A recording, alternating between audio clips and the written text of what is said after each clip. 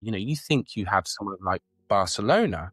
Barcelona might have five or six cruise ships at one point. So effectively, you're adding like a city of 50,000 to your energy yes. grid. Say, oh, there are five cruise ships into the harbor.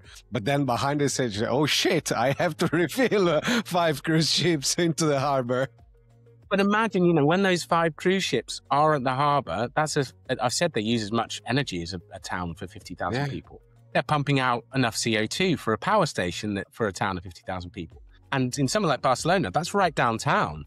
You know, you wouldn't build a power station there pumping out CO2. You'd never get away with this. But as I say, you know, it, it's about getting everyone on on the same page um, and, and working together. And, and I think that's probably why I like this sector. You know, there's a lot of like-minded people working together, trying to move towards the goal. And